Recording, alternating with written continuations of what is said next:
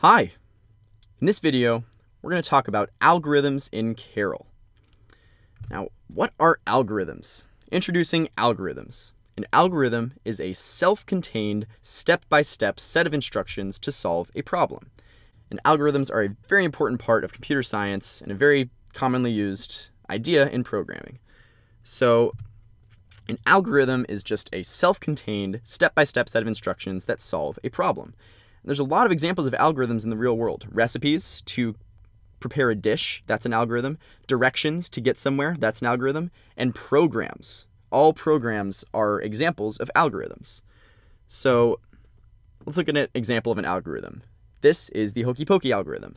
So it is a step-by-step -step set of instructions that shows you how to do the Hokey Pokey dance. You put your left hand in, you take your left hand out, you put your left hand in, you shake it all about, and so on. That is an algorithm. It's a step-by-step -step set of instructions to do this dance.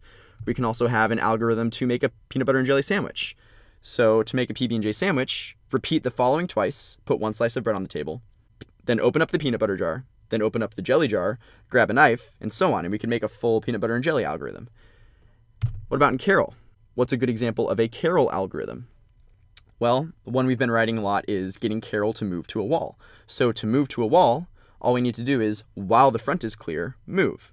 This is a self-contained, step-by-step set of instructions to get Karel to move all the way to a wall. And it's not written in code, it's just normal English, but this is an algorithm. So algorithms turn into programs. Programs are implementations of algorithms. Algorithms are kind of like the idea. They are the concept that gets the problem solved, and programs are the physical implementation of that algorithm. So algorithms are simply step-by-step -step set of instructions, and programs put those instructions, they put these algorithms into a computer executable form.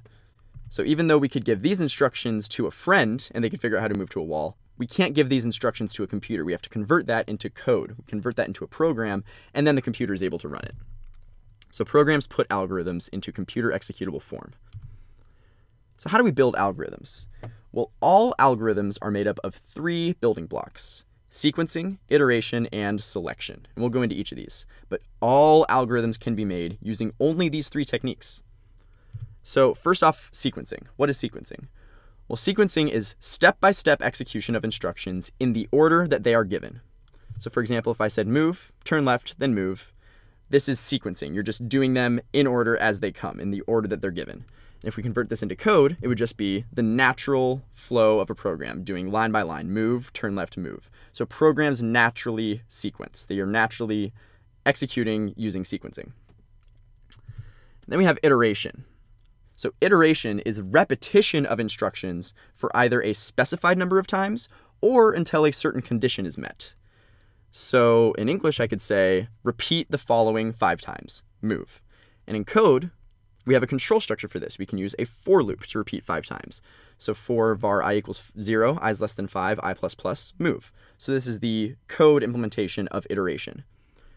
That's a specified number of times. What about until a condition is met? I could say while there are balls, take one ball.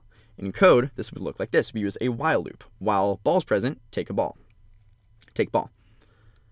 So that's iteration. And this is a little bit different than sequencing because rather than doing instructions in the order they're given, we are repeating an instruction over and over again.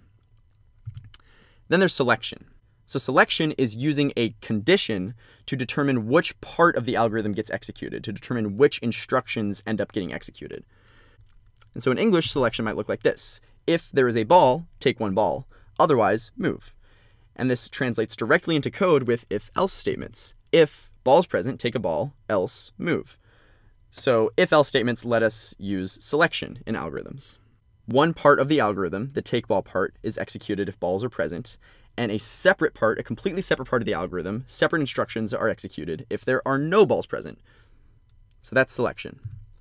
So all algorithms are made with sequencing, iteration, and selection. Sequencing is the step-by-step -step execution in the order given, and this is just the natural program flow. Programs just go line by line. Then there's iteration, and this is repeating instructions. And to do iteration in a program, use a control structure like a for loop or a while loop. And then there's selection. Selection is choosing which instructions to execute. And again, we use a different control structure, either if statements or if else statements, to put selection into our algorithms. Now, it's important to be able to compare two algorithms against each other. There are many different ways to solve the same problem. So, if two algorithms both solve the same problem, there are certain things we can look at to say which algorithm is better. One is efficiency. Efficiency is how fast the algorithm is. The other is clarity, how clear and readable the algorithm is. So let's take a look at these two algorithms. They both achieve the task of turning right. The left one says, to turn right, you repeat the following three times, turn left. The right one says to turn right, you repeat the following seven times, turn left. So on the right, you'll do a full 360, you'll do a full spin, and then you'll do three more turns to end up turning left. So which one is better, do you think? Well, in this case, the one on the left is better because this one is more efficient. It repeats only three times instead of seven. All we're trying to do is turn right. We don't want to do all these extra spins. So the one on the left is more efficient. It's faster. What about this one? To pick up 20 balls, take one ball, take one ball, take one ball, take one ball, repeat that, just type that out 20 times. And this one, to pick up 20 balls, repeat the following 20 times. Take a single ball. Which one's better here? Well, in this case, the algorithm on the right is better because this is clearer and much easier to read. If you looked at the one on the left, it would take a while to count all those statements and figure out that you're actually doing 20. This one is much more concise, it's clear, and it uses the control structure to repeat 20 times. Now, Writing algorithms is very important. As our programs get more and more complicated, it's important to develop the proper algorithm before diving into the actual code. It's much harder to get the program correct if we just start diving in and typing out code. Creating the proper algorithm beforehand makes the programming part way easier. So the problem solving process should really look a little like this. We should develop our algorithm in natural language, just English or Spanish or just any natural language. Then develop the algorithm in pseudocode, which is not really code, it's kind of in between natural language and code. And then once we have it in pseudocode, it's very easy to go from that to a program. Now, what is pseudocode? This is this, this new word. What is pseudocode? So introducing pseudocode. Pseudocode is writing out our algorithm in English-like code to help us figure out how to write the program. So it's in between English and actual code. Let's look at an example of this.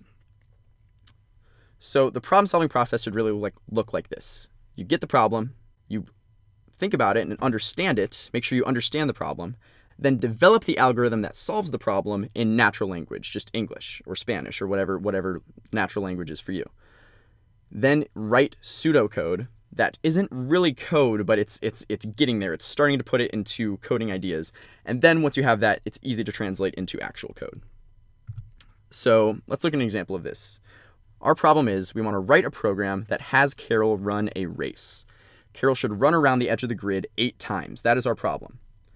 So how can we make an algorithm that has Karel run around the edge of the grid eight times? Well, first let's write it out in English. To run the race, we want to repeat the following eight times. Run a lap. Boom, done. But run lap isn't defined, so we actually have to go in and define that, top-down design. So to run one lap, repeat the following four times. Run a single side and then turn left. So that will have you run aside, then turn left, then run aside, then turn left, then run aside, then turn left, then run aside, and end back where you started. You ran one complete lap. But run one side is not defined, so we actually have to define that too. So to run one side, while the front is clear, go ahead and move. And notice this is the same as our move to wall algorithm from earlier. So this is something we see a lot is algorithms will use other algorithms as part of themselves. So the move to wall algorithm is part of this larger run race algorithm. So boom, we're done. We have our algorithm written out in a natural language. Now let's convert this into pseudocode. So we don't want to worry exactly about the syntax. We just want to start putting our ideas out there in terms of which control structures we're using and which functions we're using. So here, to run a race, well, that's really saying a function. We want to write a function called run race. And what do we do inside of this function? Well, we repeat the following eight times, run a lap. Well, we're repeating a fixed number of times, so that's going to be a for loop, and it's going to go from 0 to 8. So for i going from 0 to 8, run a single lap. Okay, but now we have to define run lap. So to run one lap, that's going to be function run lap. Repeat the following four times. Well, that's going to be a for loop that goes from 0 to 4. And inside this for loop, we want to run a single side and then turn left. Okay, but now we have to define one run one side. So function run one side. So our natural language algorithm says while the front is clear, move. So in pseudocode, we're going to use a while loop. While the condition front is clear, go ahead and move. And now that we have this pseudocode, not really worrying about the semicolons and the braces and the parentheses, we have a pretty good idea of how we're actually going to implement this in real code. So going from this to the actual program is very easy. It's just adding the proper syntax. Notice the pseudocode is not language dependent. It's not necessarily Karel or JavaScript or anything. It's it's it's more of an idea. And the natural language is really amorphous. It's it's definitely not tied to any particular programming language. But we go from this natural language to pseudocode all the way to an actual programming language that can run on a computer. So that is the problem solving process with algorithms. And algorithms are going to be a very important part of developing any program.